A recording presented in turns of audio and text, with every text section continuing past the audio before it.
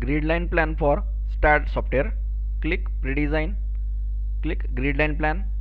Click Staad. select plan. Press enter and pick outside. Then pick all boxes and press ok.